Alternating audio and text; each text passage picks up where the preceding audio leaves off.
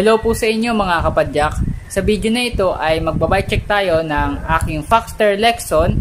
So titignan po natin kung ano po ba yung mga pyesa na nakapaloob doon at nakakabit at magbibigay rin po ako ng feedback kung ano po ba yung experience ko after 2 years ko pong paggamit ng Foxter Lexon.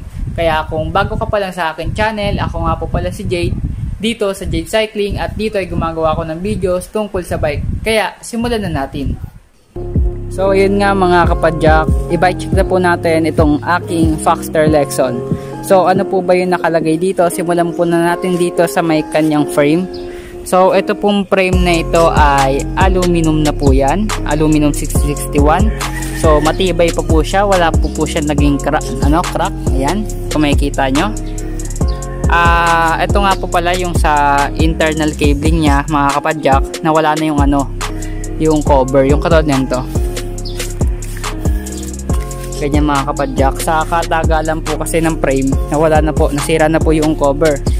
So, ito po pala ay naka-smooth welding yung frame niya, Foxter Lexon. Yan, dito, smooth welding, smooth welding. Then, pagdating dito, hindi smooth welding yan. Then pagdating naman sa kanyang headset, ito po pala ay non-tapered. Size 44 lang po yan. Yan, Foxter Lexon. Yan, at ang size po nito ay size 48. So maliit po siya. Sakto lang po siya sa 5'4", 5'5", ganun, 5'6". Then pagdating naman sa kanyang tinidor, ang ginamit dito ay yung stock pa rin po ng Foxter at ito ay steel. Steel. Steel pa rin po yan mga kapadyak kung makikita nyo.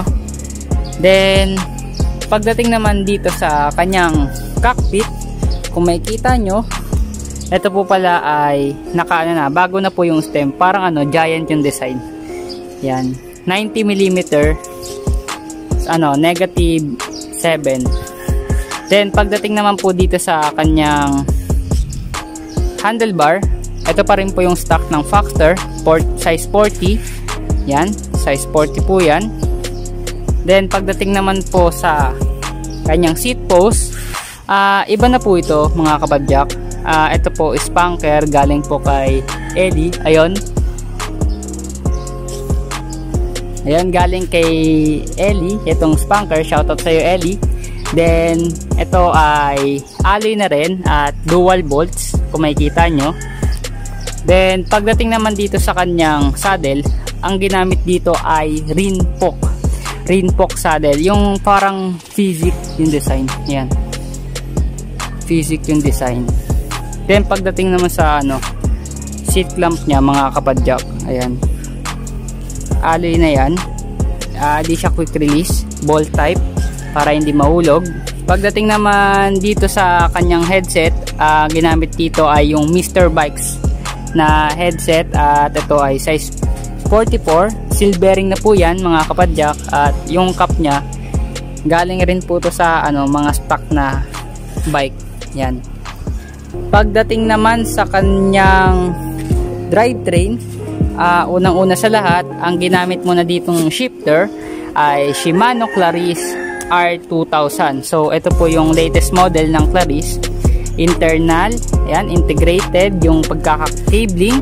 Then, kung makikita nyo, may lobo-lobo na.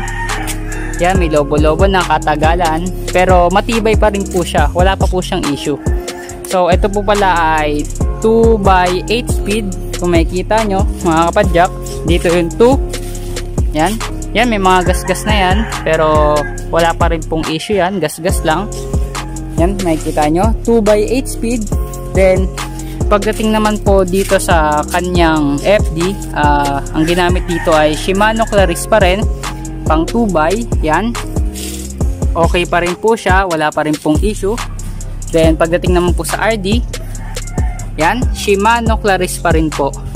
At ito kung makikita nyo po mga kapadyak ay may kalawang na kasi abakbak yung kulay, yan, napasukan ng kalawang. Ito bakal to bakal. Then pagdating naman dito sa kanyang pulley, yan. Ang ginamit ko po dyan ay Light Pro. Light Pro pulley na 11 teeth. Yan. 11 teeth. Yan. kulay silver po yan light pro then pagdating naman dito sa kanyang crank ito pa rin po yung stock Foxter pa rin po yan Foxter 130 BCD at ang size nito ay 50 pinakamalaki at ito naman ay pinakamaliit na 34 yan. 50-34 po yan. Then pagdating naman po sa kanyang chi, ano, sa chain, sa kadena ang ginamit dito ay Shimano Hyperglide. Hindi makita. Pero Hyperglide yan. Hyperglide na 9 speed. Yan.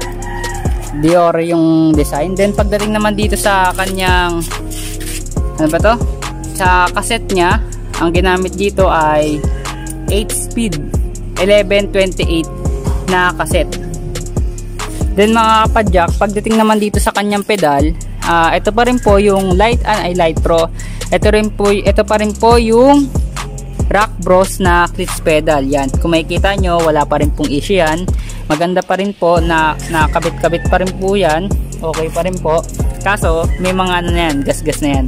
Tatanggal na yung kulay black na kulay pero walang issue yan. Yan pahabol ko lang ito battle cage plastic bigay na Ellie yan shout out pagdating naman sa kanyang disc brake yan kung makikita nyo dito sa caliper ang ginamit dito ay stock yan stock na disc brake at yung ano niya brake pad niya is rectangular. Ano yun? Basta square, ganon. Then, pagdating naman dito sa likod, ayan pa rin po yung stock wind zip. Bilog. Bilog pa rin po yan. Bilog. Pero maganda po yung pagkakakapit. Okay na okay pa rin po siya. Wala pong issue. Tapos, mga kapadyak, dito naman po ay gumamit ako ng barfly na speedometer mount yan. Kumikita nyo para mas maganda po tignan barfly speedometer mount dito ko lang po ilalagay yan para maganda po yung pagkaka ano yan. So mga, mga kapadyak pagdating naman po sa kanyang wheelset ano po ba yung nakalagay na pyesa dito sa wheelset so tignan muna po natin dito sa kanyang hubs.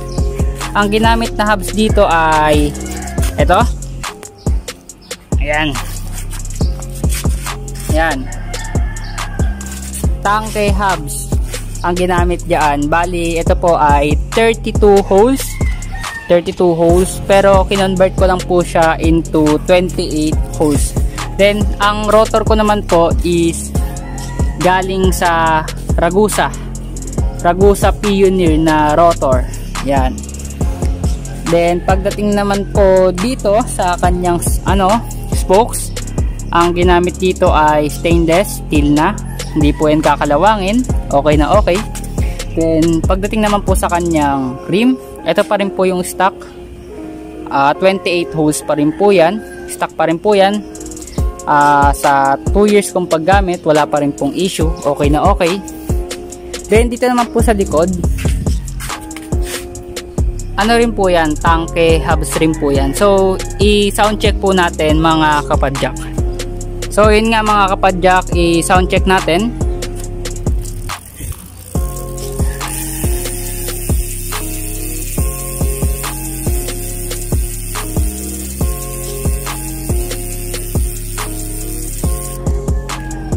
Okay lang po yung tunog, di naman po masyadong maingay. Okay rin po. At ito po palang hubs na to ay sealed bearing na po yan. Apat na bearing sa likod, dalawa sa harap Then, yung rotor rin po niya, Ragusa Pioneer rin po.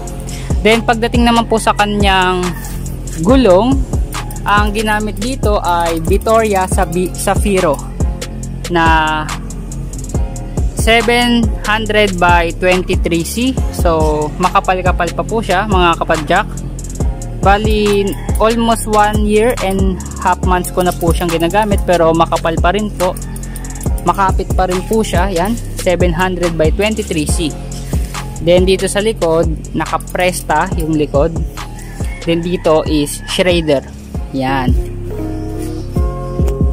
So ayun nga mga kapadyak.